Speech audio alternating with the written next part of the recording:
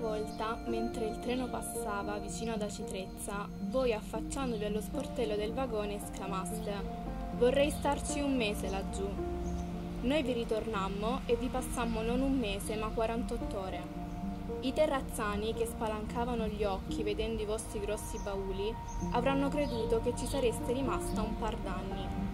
La mattina del terzo giorno, stanca di vedere eternamente del verde e dell'azzurro e di contare i carri che passavano per via, eravate alla stazione e gingillandovi impaziente con la catenella della vostra boccettina da odore, allungavate il collo per scorgere un convoglio che non spuntava mai. In quelle 48 ore facemmo tutto ciò che si può fare ad Acitrezza.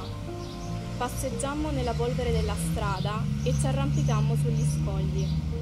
Passammo sul mare una notte romanticissima e l'alba ci sorprese in cima al fariglione.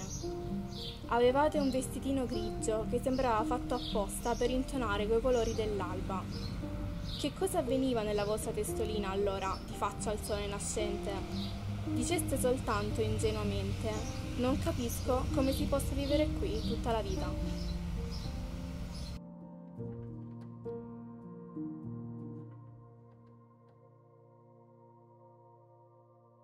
Giovanni Verga, Fantasticheria.